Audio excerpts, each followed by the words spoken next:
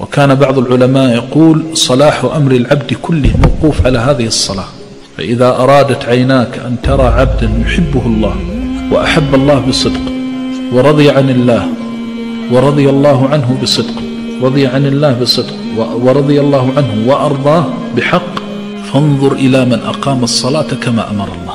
لن تجد أحدا يوفق في هذه الصلاة. فيؤديها كما أمره الله إلا فتحت له أبواب الرحمة في الدنيا والآخرة. ويفلح وينجح وجميع مصالحه الظاهرة والباطنة في أمر دينه ودنياه بل ليس مع نفسه بل حتى مع الناس. حتى رزقه الذي يرزق موقوف على هذه الصلاة وأمر أهلك بالصلاة واصطبر عليها لا نسألك رزقا نحن نرزقك. حتى عصمة عن الفواحش وأقم الصلاة إن الصلاة تنهى عن الفحشاء والمنكر. إذا أديت هذه الفريضة أخذ الله بها بمجامع قلب العبد من الشر إلى الخير ومن الشقاء إلى السعادة ومن الهوى والردى إلى مسالك أهل الرضا.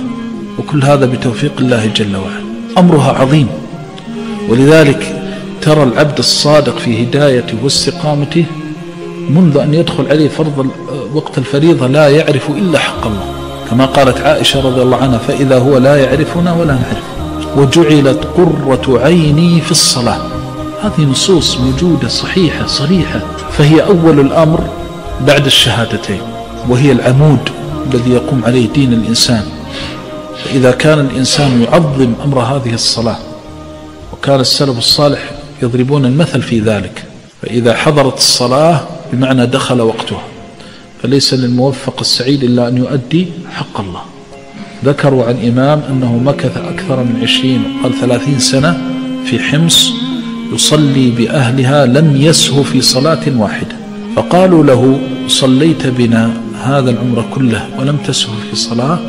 فقال والله ما دخلت المسجد وفي قلبي غير الله فهي حق عظيم. والناس يوعظون ويذكرون وتطأطأ الرؤوس ولكن العبرة بالعمل العبرة بالعمل. ولذلك تجد الشيطان قعد للإنسان بالرصد في هذا الحق العظيم. ما تجد تشويشا ولا أذية ولا إلهاء ولا وسوسة مثل إذا حضرت الصلاة لأنه يجند نفسه بكل ما